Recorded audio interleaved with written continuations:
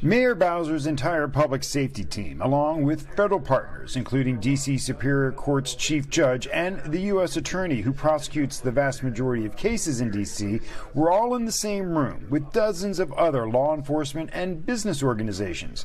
Bowser called the summit to find solutions to the rise in crime critical introspection uh, about what is working and what is not working and what needs to change. One of the concerns the U.S. Attorney's Office recently acknowledged it doesn't prosecute about 67% of the people who D.C. police arrest.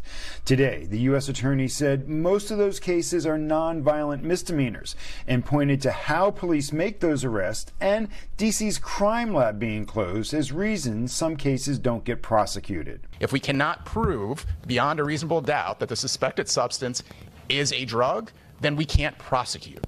That's been a big part of the story. In one instance, uh, it was deemed that there wasn't enough uh, uh, of a basis for the stop to have occurred in the first place, and a court likely would have suppressed the, uh, the gun, said the stop was constitutionally not valid. In other instances, there was more investigation that needs to be done. Bowser pushed back at the crime lab's closure being an issue, pointing out federal prosecutors have the ability to have outside labs test drugs.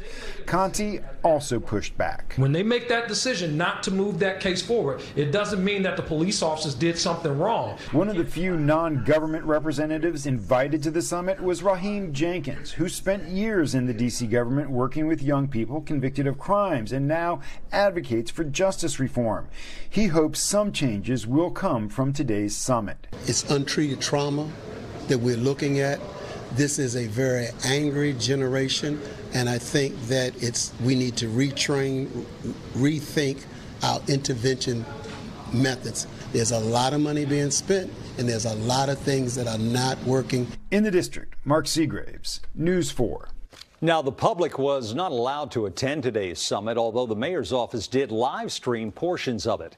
Mayor Bowser says one change she'll propose is a change to the law that would require judges to hold suspects charged with violent crimes until their trial if they have a history of repeat violent offenses.